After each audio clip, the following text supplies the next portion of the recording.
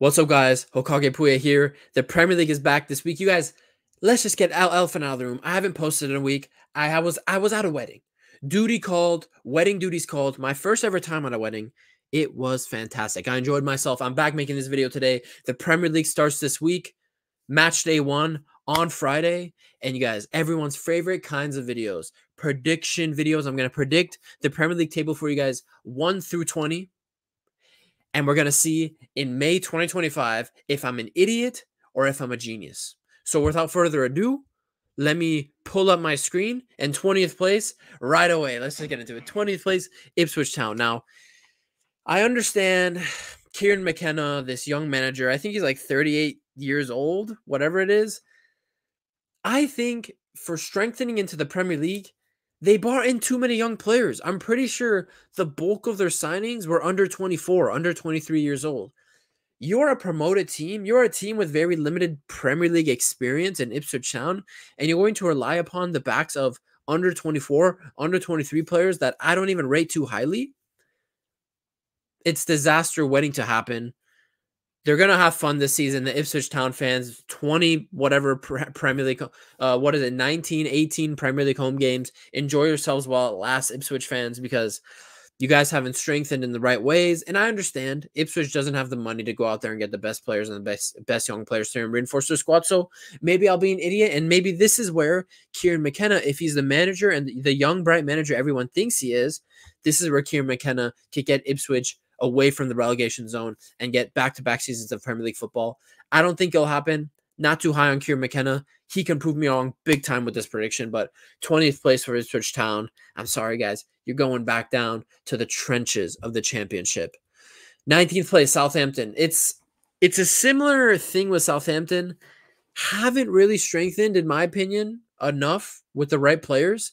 And I think Southampton you know, I, I think what was it with with Ralph Hasenhüttl, the, the the times they were getting smashed by seven goals in the Premier League before they dropped into the the championship. So I don't see that changing. I don't think the defense is strong enough. I think something I'd like to see in promoted teams is that they can sit back and play defensive football and make it hard for teams. But I don't think Southampton have that quality. And for that, I think they're going to get relegated, relegated 19th place back into the trenches with Ipswich Town into the drudges of the disgusting, ugly football that is the championship. Southampton FC. I'll see you guys in the championship in a year's time. Uh yeah, sorry guys. 18th place. Now 18th place. Forest. Now I understand this is Nuno Espirito Santos. This is, you know, he's had a he's gonna get his full season now. He's at a full summer with this Not Forest team. And they've sold some key players, but Forest has basically, if I'm going to uh, summarize Forest's uh, summer window, they replaced what they sold.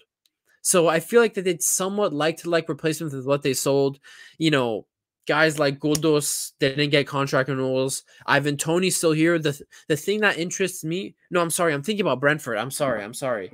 My mind went to Brentford. Forest doesn't have Brentford. Callum and all those dudes uh, Morgan Gibbs White, Chris Wood. I know a lot of people are hot on Chris Wood. He had an underrated season last year in the Premier League, but I just don't think Forest has the squad to survive another year in the Premier League. I really don't think they do. Yes, Hudson yes, Chris Wood, Morgan Gibbs White, whatever. I understand, but I just have a feeling that it's not enough. It's not enough for Forest, and I think they will get relegated what is it for two one or two seasons three seasons in the premier league i don't even know how many t- seasons they've been here now but forest i think they're going to go down a year's time they'll be playing championship football no, you know, I know Nuno's an experienced guy. Wolves had his the failure stint uh, at Spurs, trying to redeem himself here at Forest. I just don't think he has the tools to do so. With the signings they made with everyone that left, I just don't think the tools are there for Nuno to really get his team playing the way he wants him to. I think this will be the year Forest gets relegated, unfortunately. Anyways, 17th. Who do I have in the 17th place, barely surviving relegation this coming season in the Premier League? I have Fulham. Now, my main reason with Fulham being so low. So think about this. Tim Ream, two key players gone that I don't think they really replaced fully. So coming out of this team is Palhinha and Tim Ream. And Tim Ream, their veteran center back that has been there many, many years, got, you know, getting them back to the Premier League, being a Premier League mainstay center back for Fulham. He's gone. He went back to the MLS, came back to here in America to retire for, I think he went to Charlotte. And the big one for me, I think, you know, Tim Ream is expendable, although he's a, a leader in the team in the dressing room. Palhinha is the guy that I think, you know, is going to be missed because the amount of dirty work Palhinha would do in the midfield for Fulham hasn't been replaced. I think it's Mbabu, the the Bundesliga experienced right back. That's a great signing. Don't get me wrong. Mbabu is tons and tons of game in the, games in the Bundesliga for Wolfsburg, for Augsburg. That's an experienced player, Swiss international, former Swiss international. Ryan Sessegnon, he's coming in on loan, I believe, from Spurs, and Emil Smith Rowe, uh, permanent transfer from Arsenal. If Emil Smith Rowe can be fit for once in his career. It's been a couple years now. He could be impactful for Fulham, impactful for Fulham in the attack. But I'm sorry, two important players like Ream and and, and João Palhinha now being replaced. It doesn't bode. I don't think it's gonna it, it's gonna go well, and I think Marco Silva is gonna miss those players big time. They finished 13th last season. I think this season with two key players being replaced with no one, they will struggle. Um, especially in the midfield, especially trying to play defensive and countering. I think they'll get 17th place. Um, but we'll see. 17th place, Fulham. 16th place. Now, 16th place, I do have. I'm sorry, I went the wrong way. 16th place, I'm a Google Slides merchant and I just messed up the Google Slides. So maybe I'm not a Google Slides merchant. I'm an idiot. I'm a donkey. Anyway, Leicester City, the only uh, promoted team I think will that will survive this season in, in the Premier League. Now, I, you know, if I'm to give you a pretty good reason as to why they will stay up, I can't. The reason I think Leicester coming back to the Premier League, they will, you know, survive a season, maybe one, one season max, and go back down unless they get a, you know, money pumped to the team and strengthened. Because really, Leicester City hasn't really strengthened to the level that I would want from a promoted team, right? But they have a new manager, and that, that that's where my biggest issue is. They were uh, they were great in the championship last season. Um, they still have a guy like Jamie Vardy there, but Jamie Vardy is a bench player. You know, he's not an out and out starter anymore for this team. You know, but the big question mark for Leicester City is Maresca left, and Maresca was the manager who imposed this, you know, more control in the midfield for Leicester, and that got you promoted to the Premier League. Maresca is now at Chelsea, so with the new manager Steve Cooper, Leicester is a little bit of a question mark for me. Um, but one of the main reasons I think they will survive is because I think Leicester coming back to the Premier League, being former Premier League champs, I really think at home these guys can be a threat, um, and that's where they can pick up most of their points. Um, so Leicester, I think you know, and another reason for that is you know I think Fulham and Forest I think are genuinely same level of squad as Leicester, and I think you know with these with especially like a Fulham losing two key players like Palhinha and, and Tim Ream, I think that's where Leicester City can trump them for 16th place. But, you know, when we're talking about 16, 17, 18, you know, in the Premier League, oh, there's, I'm, you know, Google Slides genius right here just leaked my 15th place. But the, the difference between these places can be one, two, three points. So Leicester, 16th place um, for the Foxes. Um, and yes, I leaked it. Number 15, uh, Wolves. Now, Wolves with Gary O'Neill got 14th uh, last season. I think you know Kilman was sold. I just don't know about Wolves. I, I feel like their squad definitely hasn't gone stronger. Um, I know there's. I think Podence is back and all those guys, but I don't think Wolves' team got necessarily stronger during this window. And I wasn't convinced with them last season. 14th place. as long as they're surviving, I think Wolves is always going to be happy. Um, you know, gone are the days with Nuno where they got into Europe. I think it was a couple of seasons ago. Maybe I think it was during COVID or pre-COVID. Um, those days aren't here for Wolves anymore. And I think staying in the Premier League is the objective every season. 15th place with a team that hasn't really been bolstered this window I think 15th place is a very good shout for Wolves. And again, you know, the, the points difference between these teams is coming out of one, two, three points. You know what I mean? That's how the, that's how every league is, that's especially the Premier League. So 15th place for Wolves. Sorry, boys. Um, you suck. Basically, you're mid, mid team in Wolves, 15th place, 14th, 14th, 14th. Now, 14th place. Again, I, I don't know how to work my thing. I think Brentford are going to have a worse season off than last time. Um, th- now this is where when I was my mind was on Brentford with Thomas Frank. Now, Brentford, their only notable signing is Igor Thiago from Club Brugge, from from the the, the Belgian team, right? And my issue with that is I think Igor Thiago is actually injured right now, so he won't even be there at the start of the season. Now, that is a striking option, right? The thing I like about Brentford is that attack. You have Ivan Toney. Now, Ivan Toney coming back from his ban from gambling, he wasn't the best in that second half of the season for Brentford, but I think this season with a preseason under his belt, he's definitely staying at the club, it looks like. Um, I don't see anyone snapping him up, Arsenal or anything. I think he's staying at the club. Brentford's attack looks very dangerous. You have Mbeumo on the right. You have Toney at striker. You have Wissa at left wing. You have a guy like Kevin Schade also. I really like Kevin Schade, 21, 22 year old German Kevin Schade coming off the bench, potentially starting some games if Mbeumo gets injured again long term, even playing off the left maybe. There's a dangerous attack there, and you know, guys, a guy like Raya obviously was always going to commit to Arsenal long term. Ghoddos, uh, uh, uh, he's wasn't a key midfielder starting, but Ghoddos, the my my fellow Persian brother, he was good off the bench. He was a reliable bench midfielder for Ghoddos. They didn't really replace him. Um, and Maupay still on loan to Everton, so that's not really a miss. The attack is so strong. My issues with Brentford are in the midfield and in defense. Um, and I don't think they've recruited well there. And I think they're gonna have a worse season. Um, no, sorry, I'm sorry. I think they're gonna have a better season this time around with Thomas Frank, with another preseason, with Ivan Toney here the entire season from match day one to match day 38. I don't know why I was saying the whole time they're having a worse season. Last season, Brentford actually finished 16th. Brentford this time, I think I'm going to finish 14th. I think Wissa and Mbeumo and, and, and Toney are really going to carry this team because I don't think the strength is there in defense and in midfield. So Brentford, 14th place. Now, Bournemouth, 13th place. Now, I was originally, if you asked me a week ago, I would have put Bournemouth maybe sneaking into the top 10, into the top half of the table, 10th place, a cheeky 10th place. I was thinking about that for Bournemouth. Um, but Iraola, see, I don't know why Solanke was just offloaded like that because it seemed like out of I didn't know. correct me if I'm wrong. I don't think Tottenham was linked to Solanke all summer. The deal just happened. One morning I wake up. I think it was the day I was going to Dallas for the wedding I was going to. Solanke confirmed in the morning off the Spurs.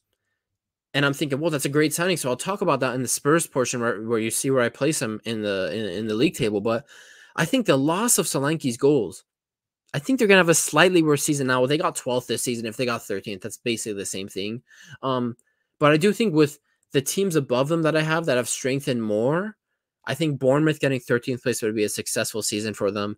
Um, they have brought in players, since Sinisterra from Leeds, um, Unal from Getafe, um, a really young uh, Spanish uh, Dutch center back. He hasn't committed yet. Uh, from Juventus. So yeah, the big miss here, Solanke, his goals, he would get goals in big games too. I remember the goals against Manchester United. So Solanke gone means less goals, in my opinion, for Bournemouth.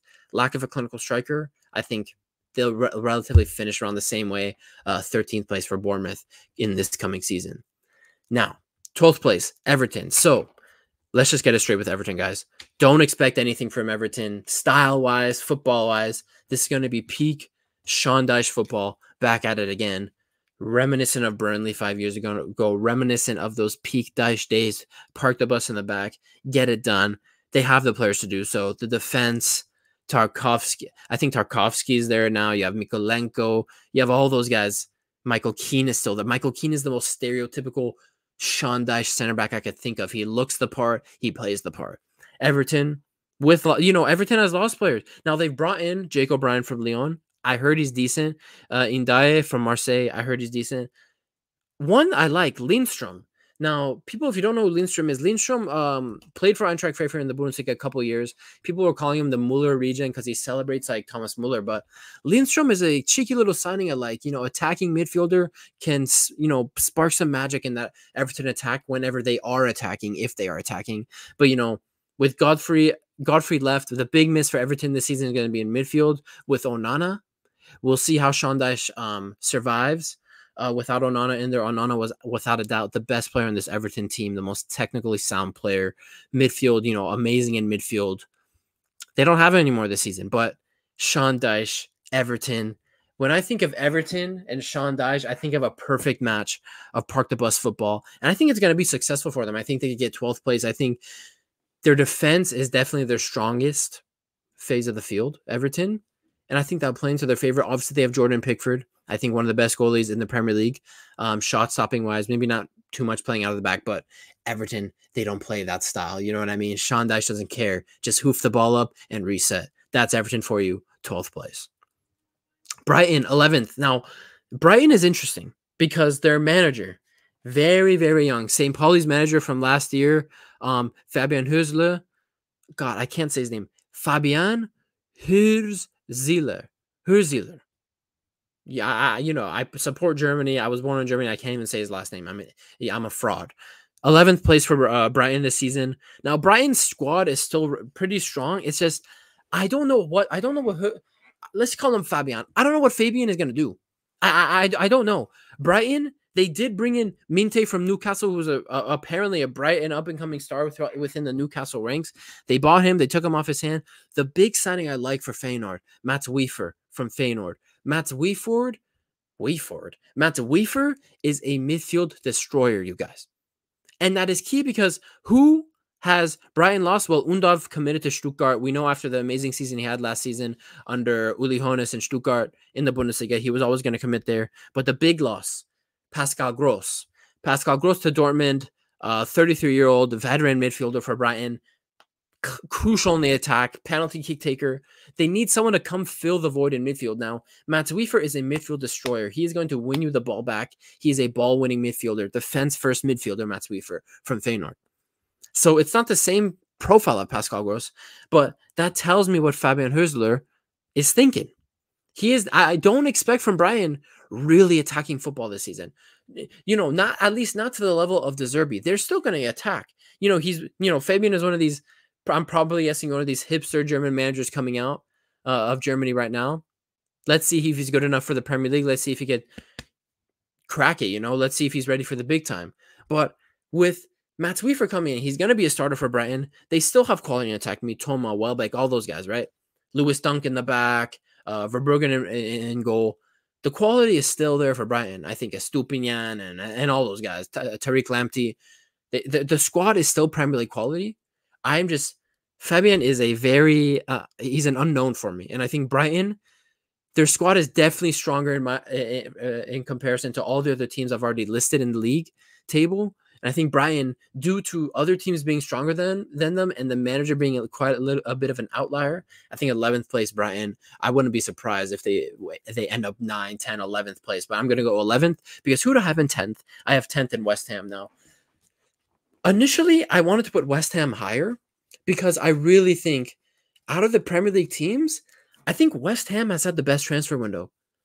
If not one of the best, at least. You know, West Ham they offloaded some of the dead weights. Thilo Kehrer came back from loan. They gave him the Monaco, 17 million, whatever. Said Benrahma, they sent him, they sent him over, you know, to Ligo and got, got the official price tag for him. I think it was 28 million or something. Kalvin Phillips, that dead weight from Man City, they got rid of him. Remember last season they brought in Edson Alvarez. I thought that was a good signing. Didn't really quite gel for them, in my opinion, last season. You know, injuries or whatever it was for West Ham. I didn't think they played as well as they should have. But this season, the signing guys, the signings, Max Kilman from Wolves, boom, slot him in the back there. Starting center back from Moyes, Todibo from Nice. Todibo from Nice in League One. He's been having a couple of good seasons there in France on loan from from Nice. Great signing in defense. So West Ham already strengthening their defense a lot. And you know, Antonio decent player for West Ham, has been a good servant. He's just not the clinical goal scorer that West Ham needs. So what do West Ham do? They go on and get my boy Luque, Niklas Füllkrug. They sign Niklas Füllkrug from Dortmund. I, I, forget the price tag, but Niklas Füllkrug is going to be that fox in the box. He is actually very good in the build-up play as well. I think Niklas Füllkrug can have a very good season for West Ham here under David Moyes. And I think, you know, initially I wanted to put West Ham, you know, in the eighth, seventh, surprising surprise placement for West Ham. But I just think there's teams stronger than them that will perform more consistently than them over the 38 game season. But I think West Ham getting 10th would be a successful season. Really be on the lookout, man, for for for Niklas Füllkrug. Niklas Füllkrug, Kudus, all those guys in the back, Todibo, Max Kilman, all of a sudden, West Ham look good. And with Moyes at the helm, I think who's a very good manager, they could outperform 10th easily. But I have him at 10th right now. So let's see. Ninth. Now, let me explain. Let me explain. Newcastle, where's the business? Where's the business for Newcastle? No one know there's no one notable that came in for Newcastle. And I like Eddie Howe. I think Eddie Howe is actually the best English manager. He I think his understanding of football and how it should be played, you know, setting up attacking systems, high press, he understands it right now. He's ahead of all the English managers. You could probably could Grant put Graham Potter up up there with him, but Potter doesn't even have a job. Eddie Howe does, and for a reason. The last season, Newcastle got seventh.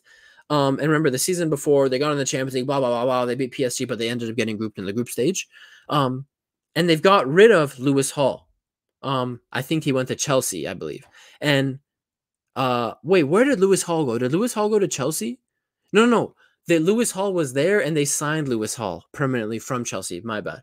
And they got rid of Minteh. So Newcastle doesn't have any notable, you know, buys, but no notable sells.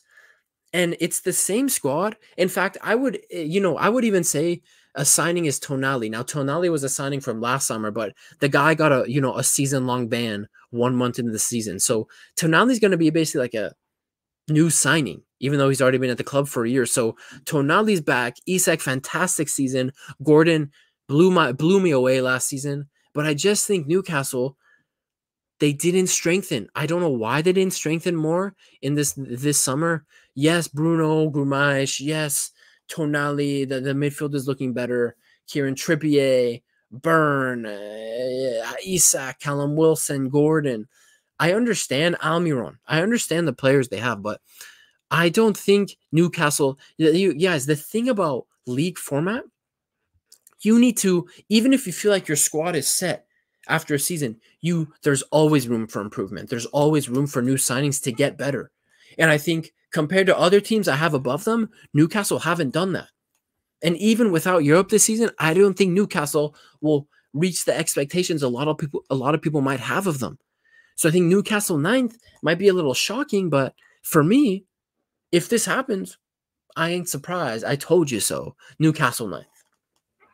Eighth place. Now, this, I think this is, uh, you know, I don't know how many people, I haven't re- gone and watched too many videos on YouTube to see where people are putting Crystal Palace. But for me, man, Crystal Palace, you guys trust me, this is not because I'm going off of the last seven games of the previous season where they were scoring six goals a game. Olise, Eze, Jean Philippe Mateta, and, and all these guys were popping off. I understand a lot of people are saying don't fall for that hype. But I need you to understand that wasn't just hype. That is the culmination of Oliver Glasner's ideas taking full effect in this team. And we only saw six games of it where it was working in full force. Oliver Glasner is a fantastic manager. There's a reason why I wanted Oli Glasner to take over at Bayern when, after his time at Eintracht Frankfurt. It is because of this. He is able to mix attack and defense very well and give you an ex- exciting brand of football. And Crystal Palace, when is the last time Crystal Palace has been known for an exciting brand? Yes, they've been known for having Eze, and back when Wilfried Zaha was here, they've been known to have an exciting attack, but overall football was never fantastic. With Oliver Glasner, the overall football is going to be great.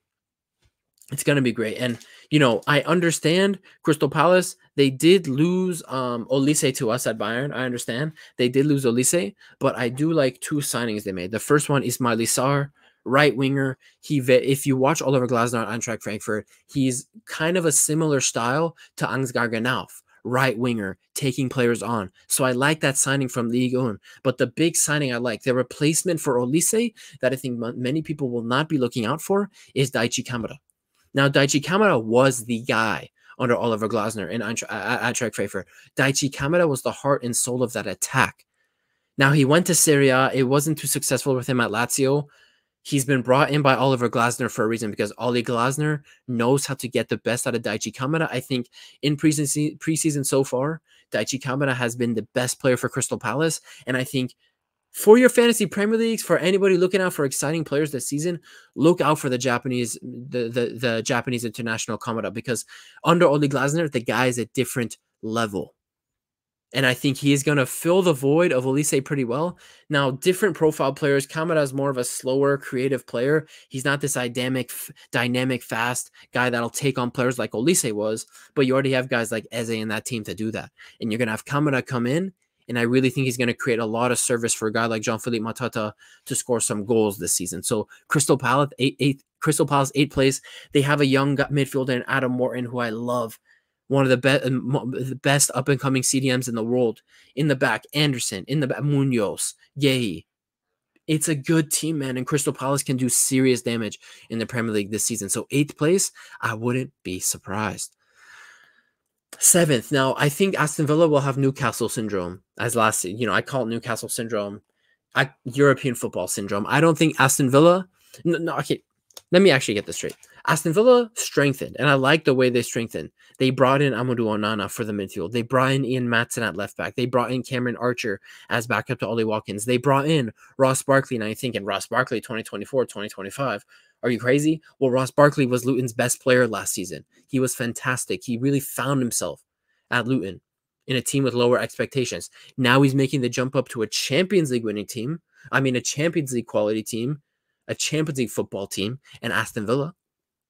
So let's see what Ross Barkley does there. So the signings are great. They got rid of Douglas Luiz to Juventus. Diaby went off to Al Ettifaq, fuck, fuck, fuck, whatever.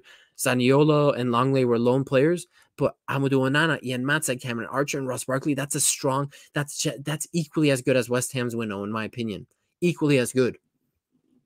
My issue is European football. Now, this is where I could be completely wrong and Aston Villa get fourth or third place. They have the team to do so. They have the team to challenge Chelsea, Tottenham, and Manchester United for the spots behind Liverpool, Arsenal, Man City, whatever, whatever you have your ranking as. But Aston Villa, I think, with European football on the cards, let's see how their squad fares. I think that they won't achieve similar results in the league this season, but I do think they could be a dangerous team in the Champions League. But Aston Villa, I think they'll be worse off this season, seventh place. You know, for Aston Villa standards, though, seventh place is great.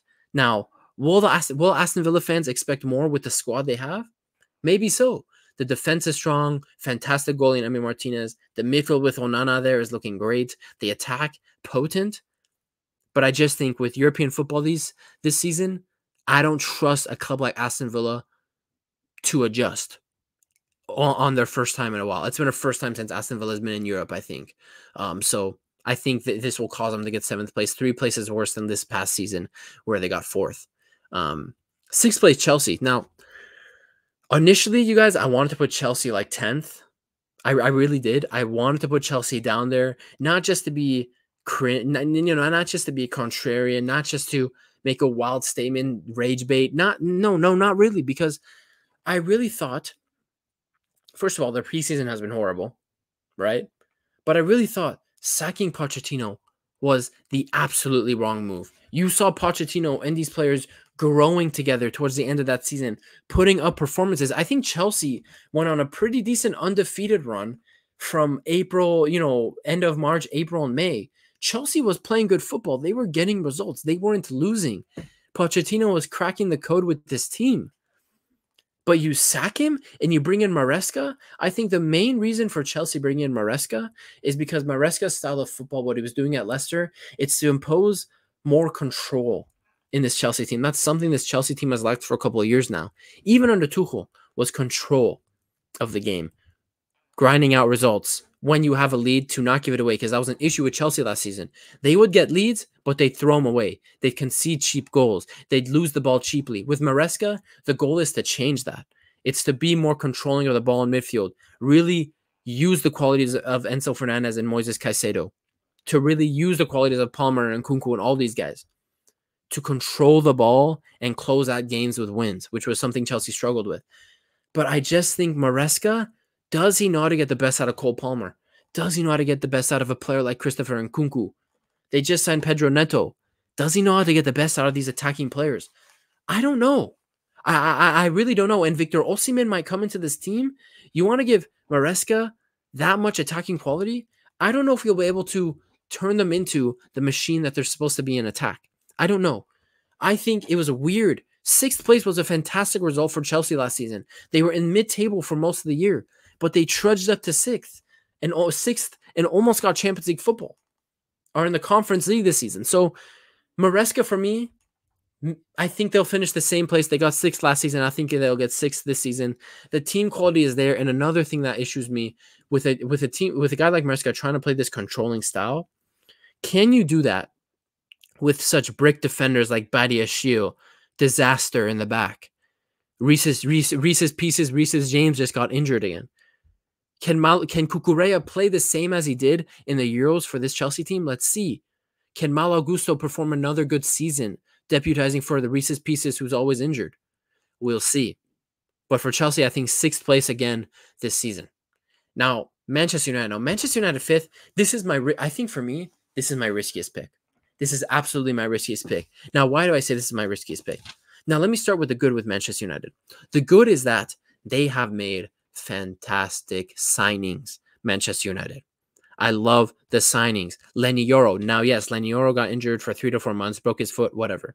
Joshua Zirkzee, a player who is different profile to Rasmus Højlund. He is a build up striker, assists and goals. He doesn't have to be a guy like Rasmus that just, you know, give Rasmus service. If you don't give Rasmus service, he's useless.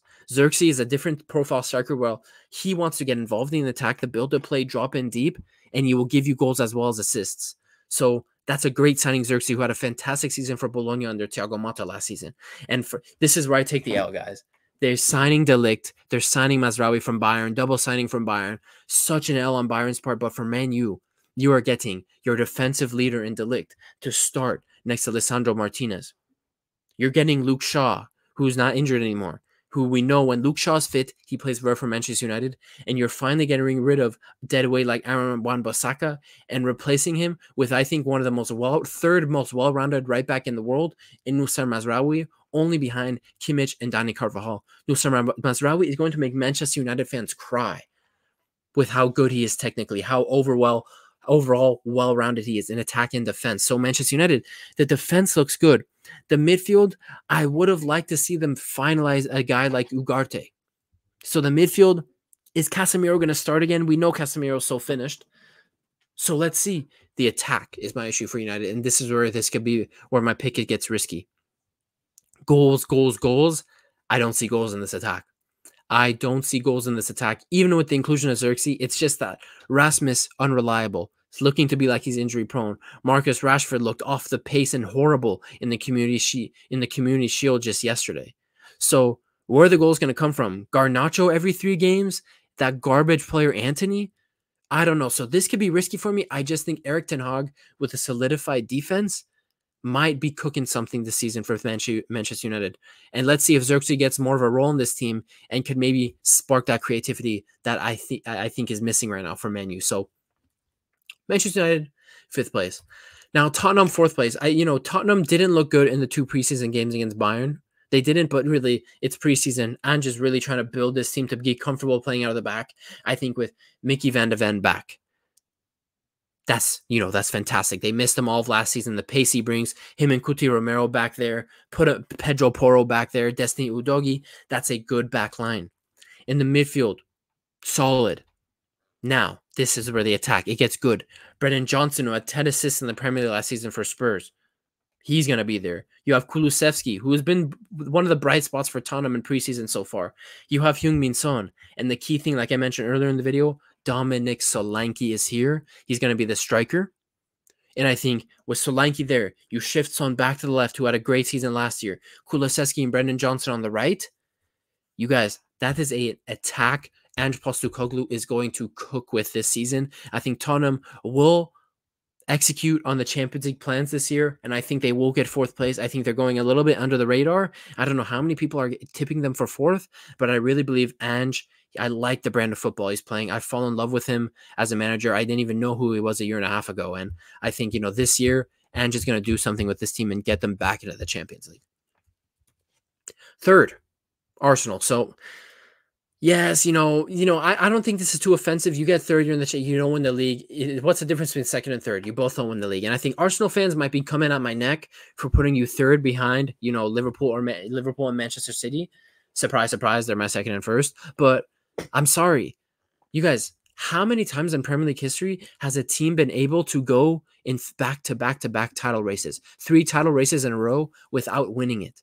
And they already were in two and they lost both. So I think Arsenal this season, yes. Now, Arsenal, they did sign Calafiori, strengthen the defense where I really didn't think they need to. They made David Raya official. They got rid of guys like Tavares on loan again. Lokonga went to Sevilla. Emil Smith Rowe to Fulham. So deadweight is gone. Tierney is back from loan from Real Sociedad. And the Mikel Merino transfer is pending. But cool signings. You get Merino, awesome. Raya confirmed Calafiori. This is great, Arsenal. But again, you have not executed on what this team needs the most, and that is a clinical freaking striker. And I'm sorry, I love Kai Havertz. I love him. I'll always believe in him, but he is not the clinical striker you need. Now, who knows? Kai Havertz really grew into his own in this Arsenal team in the second half of the season. So who knows? If Arteta can get a full eight, seven, eight months out of this guy, who knows how many goals Kai Havertz can get? Can he hit the 20 plus mark? Who knows? We're going to have to see. But I just don't have that trust in Kai Havertz. I don't. And I think this team needs that guy to score the key goals like a Haaland would for City. they need it and they don't have it. They haven't made that signing. So Arsenal, I think this is going to be a slight drop off season. I don't think they're going to be garbage. I think they're going to be a, a, a, a, respectable team in the Champions League, a respectable team in the Premier League. I just don't think they're better enough strengthened as much as Liverpool has.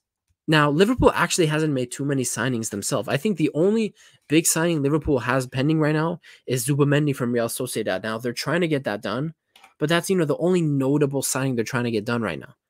Thiago retired last season. He's now Barcelona coach. The reason I put Liverpool second is because I love what I'm seeing from the side under Arne Slot. Arne Slot, Amber Rose, call him whatever you want, the slut of whatever, Feyenoord, whatever you want to call him. He is implementing a st- he, his ideas are already translating in this Liverpool team, and I loved what I'm seeing. I loved what I'm seeing. Salah looks like he's understanding what Slot wants. Salah is looking like he's enjoying life. Gakpo, can he re- replicate his form that he had for the Netherlands, for Liverpool? Can Luis Diaz, can he finally have a full breakout season where he's consistent the whole entire time?